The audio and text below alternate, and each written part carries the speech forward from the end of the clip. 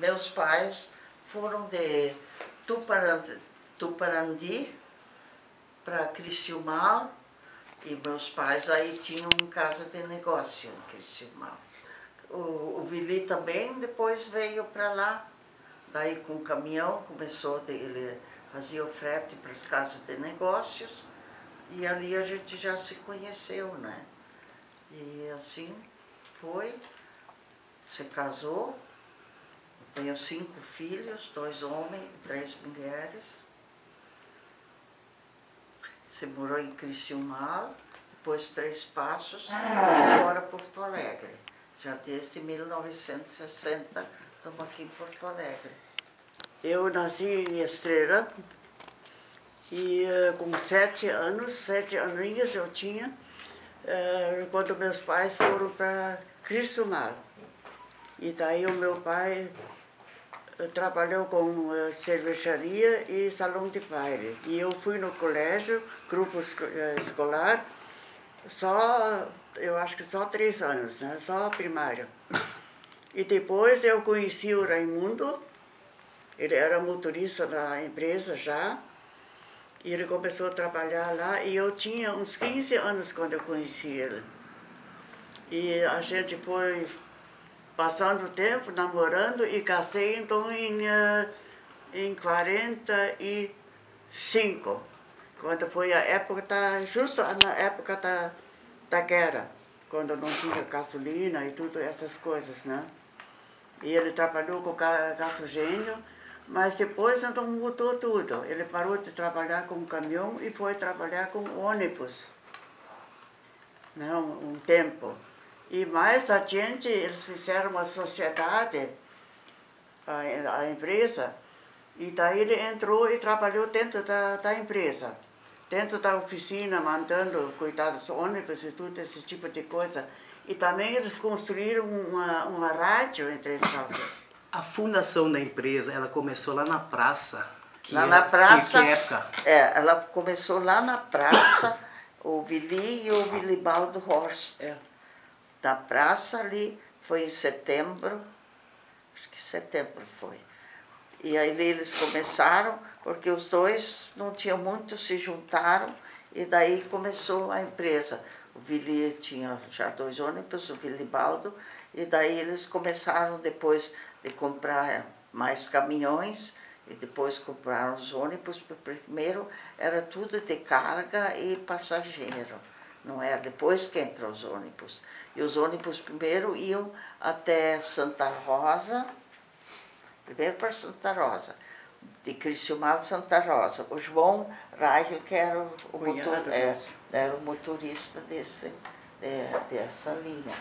Depois foi para Santo Ângelo e depois de três passos que começou a linha para Ijuí. Uhum. Três passos Ijuí. E daí, depois se comprou a ouro e prata, foi comprada em Ijuí, mas quando já compraram, ela começou, pra, fizeram um ônibus novo e saiu de Santa Rosa para Porto Alegre. Porque o Raimundo é empregado há alguns anos, né? É, de motorista de caminhão. E depois, então, ele, ele pensou diferente e ele comprou os, os caminhões, era da, da empresa. Como era o nome da empresa? Pioneira. Pioneira. E aí ele pensou, não, eu vou comprar os caminhões, caminhões e foi trabalhar com, como dono dos caminhões. Né? Ele tinha. Ele era já dono dali. Ele comprou e ele começou a trabalhar. Sim, né? os, os caminhões de carga, carga só. É. E, mas não durou muitos anos, ele era dono desse caminhão de carga. Não demorou muitos anos, daí o Vili convidou ele para entrar com os ônibus, para botar carroceria de, com os caminhões de carga, botar carroceria para trabalhar com, como ônibus. E desse ali, então, nós éramos sócios também. Primeiro ele era empregado. Né? Esse, esse primeiro ônibus, ele, ele era um ônibus que vinha lá de Lajado, não. Qual é o lugar ali do lado de Lajado? Um lugarzinho Estrela, pequeno. Teotônia. Rui do Meio. É, mas era ali, chamava na época Colônia Velha. Aquele ônibus vinha de lá com passageiros e vinha até, até Criciúmal, né? E daí, então, depois aí foi comprado, aí já a empresa comprou aquele ônibus. E daí ele começou a trabalhar nessas linhas curtas, né? De Santa Rosa, Juí, Santo Ângelo ali, esse primeiro. Depois já veio os ônibus fechados. As estradas eram muito ruins, né? Porque o ônibus saía de, de, Criciú, de, de Criciúmar às 5 horas da manhã, ou 5 e meia, para ir para Santa Rosa e voltava de noite. De tão ruim eram as estradas, né? E depois os outros iam para, outro ônibus ia para Santo Ângelo. E depois os ônibus para Ijuí só começaram quando nós fomos já para Três Passos. Aí que começou Mas ainda Passos. demorou um pouco, pouco porque é. nós... Nós tinha que comprar uma concessão. Não sei de quem ali foi, isso eu não me lembro. Eram quatro, quatro sócios. Um é, era sim, isso a Ouro e Prata. Sim. E daí, então, surgiu o negócio da Ouro e Prata. Eram quatro sócios e moravam em Juí. Não sei se todos. Um era o Ivo Weiler. E o Fleck. E o. É, e o outro era, Oswaldo, era esse, Eu sei que eram, lá eram quatro sócios. O Sauer. Sim, Sauer. É, Sauer. É. Eram Mais, quatro né? sócios, aí se comprou deles o, os ônibus e com a, com a concessão, como é se diz, né? O ônibus tem que ter licença né, da época. E aí então a, começou -se a se fazer a linha, quando se comprou os ônibus da Prata, ali logo se fez ônibus novo, e daí começou a sair de Santa Rosa, Porto? Alegre, porque aí já tinha um, uns pedaços, como chamavam na época, a estrada da produção, da estrada da produção. Então, os ônibus para Porto Alegre. Tu saía às oito, sete e meia de Cruz Alta, chegava às vezes a uma da manhã aqui em Porto Alegre. Era muito ruim essa estrada. Estava corrente. Com correntes. É. E não tinha pontes. Até no alto nós botava seguido corrente para ir, porque a estrada era um, uma lama, né? De Palmeiras até é muito ruim. Micaco era terra vermelha, né? É bem vermelha. Uhum. E também não tinha pontes, era barcos. Não, a barca era para vir para cá, não é? Sim. Tinha em, ali em Estrela ali Espumo, do lado. Espumoso. Espumoso, mas eu, tinha duas barcas para nós passar. Taquari. É, para Porto Alegre, duas barcas. Uhum. Três, para Três Passos ficou mais central por causa que aí se comprou a, a, a linha de Ijuí Três Passos. Então lá era mais central. Criciúmal ficava meio do lado. Ela teve duas épocas bem delicadas. Quando começou ah, quando teve a guerra, né? E terminou a gasolina. Daí entrou para os gasogênios, né? Então aquilo ali foi um. Tinha os caminhões, tinha os motoristas, e o que fazer agora? O que, que vamos fazer? Como é que vamos transportar?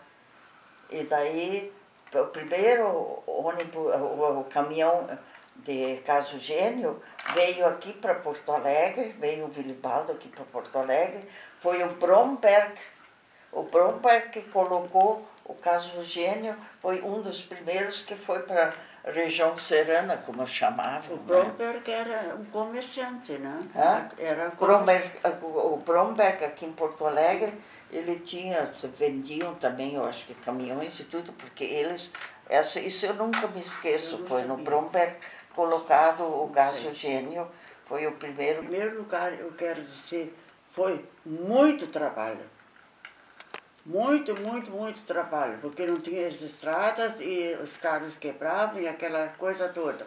Meu marido levantava às 5 horas da manhã e ficava lá, então seis horas era uh, terminava o expediente, mas ele e o Pili ele vinha da rua com outras coisas para fazer, eles ficavam então muitas vezes até às sete horas, né? E isso era o ano inteiro, Natal, Ano Novo, Páscoa, seja o que for. O Raimundo ia primeiro na firma. Nós íamos na, na, no culto que era às 10 horas. Ele ia na firma, fazia o que tinha para fazer, eu já estava pronto, ele se mudava e nós íamos na igreja. Assim ele trabalhou toda a vida dele. Depois ele parou, então começou a ficar doente, sabe, cada vez mais, e, e já ficava mais na firma, então, né? Uh, já não tinha mais aquela correria, já tinha mais gente que cuidava, né? Então mudou, mas foi, foi muitos anos, Noêmia, muitos, muitos anos. A gente se orgulha porque ela é, hoje ela é uma das firmas que também recebeu o prêmio de organização Muitas vezes já. Muito bem organizado, desde o Caicem, que nós temos o Caicem dentro da firma, e quem dava, tem também quem dá orientação para a firma é a Bosch. Meu filho foi convidado pelo diretor da Bosch da Alemanha e foi lá no aniversário da Bosch, isso faz acho uns três anos, dois, três, não sei se faz três, dois. E aí ele foi chamado na mesa junto com o pessoal da Bosch que começaram. Então nós temos a orientação entrou da Bosch e o Kaizen da mão de obra. O que, que quer dizer Bosch? Bosch é uma firma alemã que aquele te lembra agora quando tinha a festa, aquele magrinho que veio sim, falar? Sim. Ele era da Bosch, uhum. esse ali. E eles deram a orientação, como é que. Essas coisas assim, de organização, como é que fazer isso ali.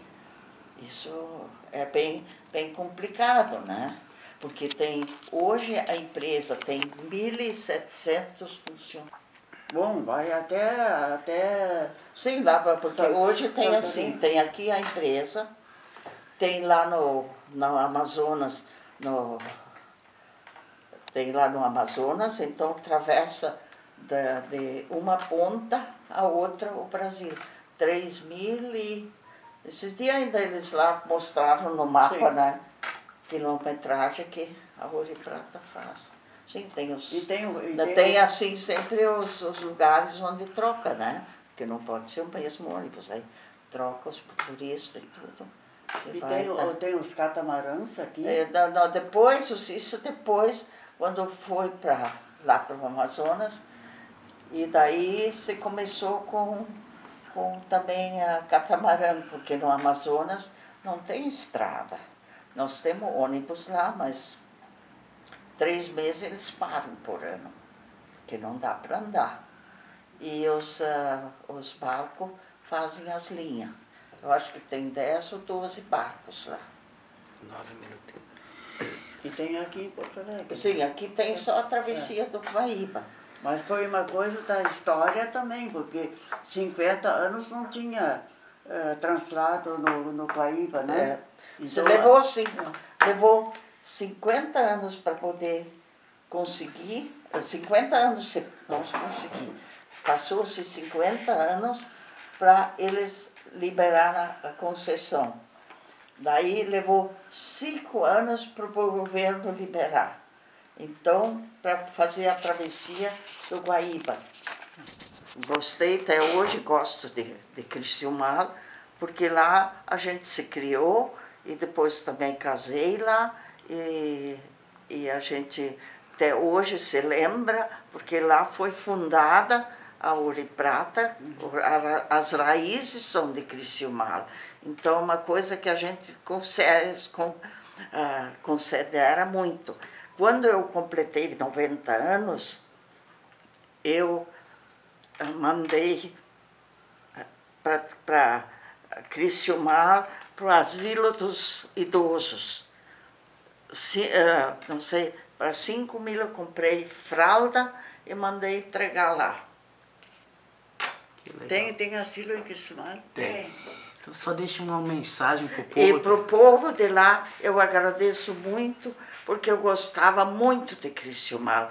Eu me mudei de lá e eu gostava mais morar em Criciúmal que Três Passos. Depois a gente se acostuma, né? Mas eu gosto muito de, de Criciúmal. Aí depois eu voltei um 10, 12 anos, um neto meu, um neto, queria conhecer. Aí nós saímos daqui, fomos para Carazinho, fomos para Palmeira, fomos para Três Passos, fomos para Quiciumar, filmamos lá e tudo. Ele queria conhecer até Santa Rosa, e Santa Rosa ele ficou e eu voltei para Porto Alegre.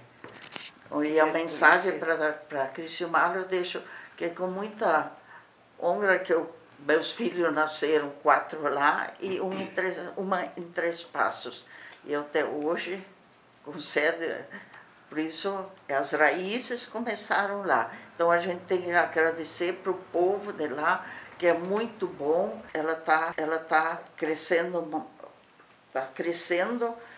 O que dá para, como eu disse, dá para fazer, sempre se procura a melhor maneira e, e, por isso que se entrou com a Porsche, né, para ela ser uma, uma, uma empresa com uma, com, que as pessoas podem confiar.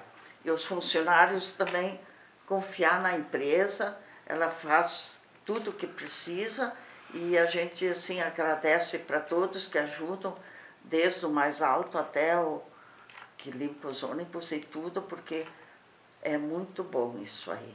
E eles, eles assim trabalham com, com satisfação, porque muitas vezes eu vou lá, vou nos escritórios, aí eu cumprimento todos e daí sempre dizem, ah, nós estamos muito satisfeitos porque é uma empresa que a gente é bem recebido.